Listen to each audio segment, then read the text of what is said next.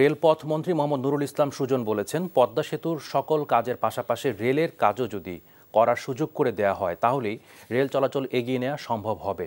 পদ্মা সেতু আগামী বছরে জুনে খুলে দেওয়ার কথা রয়েছে।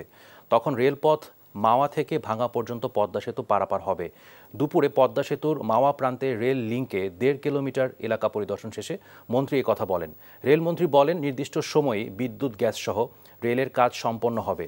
ডিসেম্বর বা জানুয়ারির মধ্যেও যদি অনুমতি পাওয়া যায়, তাহলে ছয় মাসের মধ্যে কাজ শেষ হবে। আর আমরা বলেছি যে পাঁচ পর্যন্ত আপনার লাগবে, কিন্তু আমরা হচ্ছে যে আমাদের সাইমেলটেনিয়াসলি আপনাদের ওই কাজগুলোর সাথে সাথে রেলকেও যদি কাজ করার একটা সুযোগ করে দেওয়া হয়, তাহলে আমরাও কাজটা এগিয়ে নিলাম। তাহলে ওই সময়টা আমরা নির্দিষ্ট সময়ের মধ্যে আমাদের রেলের কাজটা এবং যে ইউটিলিটি বিদ্যুতের যে কাজ একসাথে